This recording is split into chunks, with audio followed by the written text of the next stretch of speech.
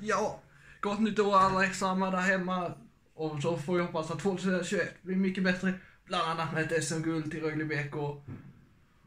Och mycket mer. SM-guld tippar vi. Vi kan vi nå 500 prenumeranter i år. Det skulle också vara ett milstolpe. Men och massa mer hoppas jag att det blir. Men 2020 har varit det sämsta året i världsvärlden på många år. Och jag hoppas att detta året blir mycket bättre. Men gott nytt år! Gilla, prenumerera på notifiklockan för att inte missa något. Så ses vi i dagens video som är en säsongsflagsvideo. Så ha det fett och ha ett riktigt bra 2021.